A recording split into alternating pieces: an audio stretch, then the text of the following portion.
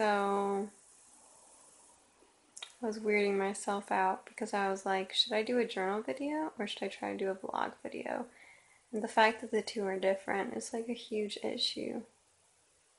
Why am I just so afraid? Why can't I just post stuff? Why do I have to post something perfect and well thought out? And like, I don't know. That's just so fake. And I'm not, I'm not about that. I'm so not about that. So, like, why am I worried what people think or if they think that I'm not being clever enough or smart enough? I think that might be one of the reasons that I stopped doing my blog, even though I was like, oh, it's time. I don't have enough time, which was true. But I was like, overwhelming. Like this pressure of I need to produce really good content, or I need to be interesting, or I need to be funny. Because just me is not enough. And you know what? Me. Okay.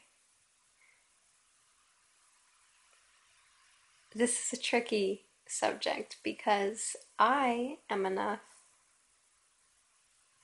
To quote Sierra, so enough. It's unbelievable how enough you are.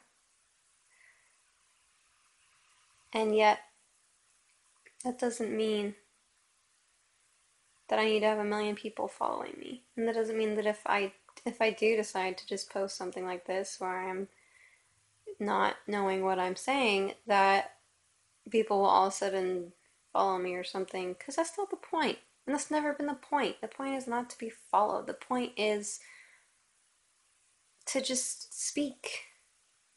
Speak into the void, to to have ideas and to have thoughts and to help and encourage and be somebody who's not just living around their own life but who's wanting to reach out and maybe we can all help each other to be a better person and to live more fully and to have more joy and like we don't do that by staying in our bubble. And that doesn't mean the vlog is the right thing for me. But I'm just so sick of being afraid about it, and I'm just tired of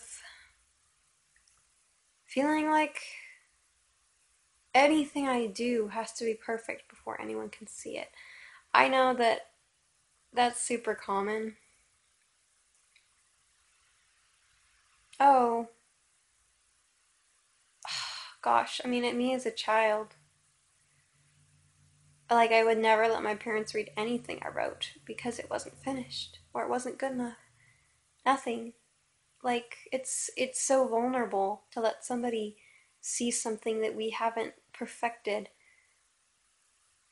And yet it's not like we are our perfected selves. It's like Instagram. People talk about how it's like, "Oh, this is my perfect life because I'm only sharing the perfect moments." That's what it's like. And you can't get around that in social media but I wish that we could.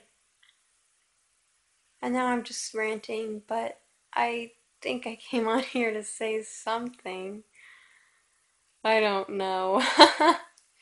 I guess I'm not. I guess I am still on subject because I was talking about not doing vlogs because had to be perfect and I can't be on a pillow on the couch in my pajamas and like that's lame. Like who wants to watch that? That'll make them sleepy and they'll feel awkward. But I'm tired. I'm so tired. I stayed up so late last night and today's been exhausting. And so I got into my pajamas and it's 8:30 and I want to go to bed and that is fine. And it's fine that I'm in my pajamas and nobody has to watch this. I don't even know if I'm going to post it. I have no clue. I'm just talking to the camera because this is what I do when I need to process what I'm thinking about. But this is probably really long, and so I need to stop it. But wow, I just had this weird moment where it said 450, and I was like, does that mean I have. I'm halfway to 5? But no, it's 60. This is the dumb system anyway. Basically, we just need to stop having to be perfect to be seen. Whether that's in our home, whether it's our appearance, like like I don't need to put makeup on to go outside of my house. Um and I that's not always true of me. I'm just saying that should be always true, but basically there's no reason there's no reason to be like that. If we truly want people to love us as we are, if we let me take that back. The goal is not having people loving us. The goal is loving people.